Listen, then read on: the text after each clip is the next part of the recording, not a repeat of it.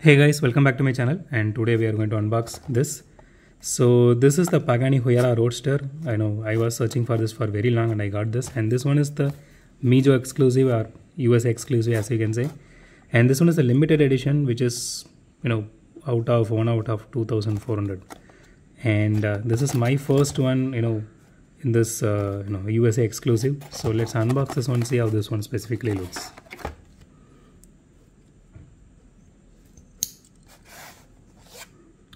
I never actually opened something like this but let me just try to unbox this.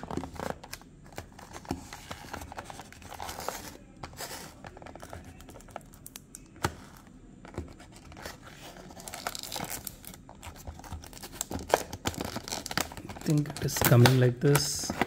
Okay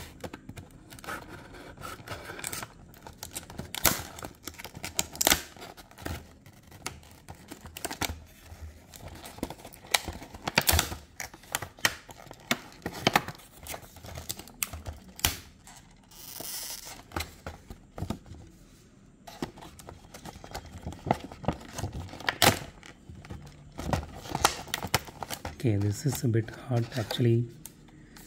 Let's keep this here and uh, let's take this out and let's throw this out. Okay.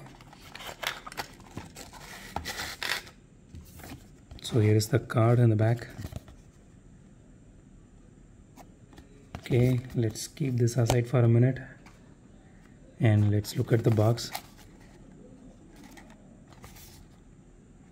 so this one is actually different from what we normally get. Maybe due to this limited ex you know edition thing. Okay. It is really nice of them to include this you know plastic casing inside. So I plan to keep it inside this case. Okay. Let's put this aside and look at the car now. Okay so here it is. So the initial impressions of this car it looks really beautiful. And see as you expect from any mini gt for the price. So see it doesn't have any acrylic for headlights but it does have some kind of i think metal piece or plastic piece for headlights which is okay. And it has this air intake details a little bit. And uh, so as usual this rear view mirrors are actually made of some kind of you know what you can say rubber. So the interior detail looks really awesome. And uh, as you can see here it does have some engine detailing as well. Not sure if you guys are able to see it. Yeah now i think you can, can see it. It has this engine detailing to it as well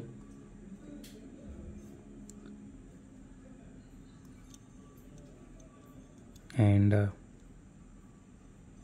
so the tail lights are actually you know painted on. I really wish they actually put some kind of acrylic there. And uh, the body is actually made of metal and the chassis is also made of metal. So this one is a lot different compared to what we normally get. So the rims looks really nice especially the rear one. It has some depth to it. So it adds a lot of uh, character actually this looks really beautiful. So it, it has a nice paint job and uh, it is not too glittery actually but it is a bit glittery.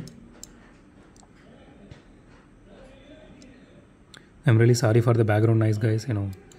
So the new people who came you know they are just watching tv and all in very high sounds.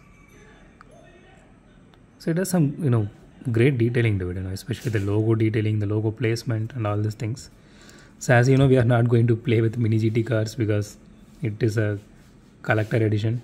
I mean, it is a collector model actually. The seats are actually fixed, it is not moving. I really like the detailing, it looks really nice. Okay, let's do a roll test as we normally do. Okay, doesn't have any such, yeah, it doesn't have any suspension. Let's do a roll test real quick. Uh, it rolls okay.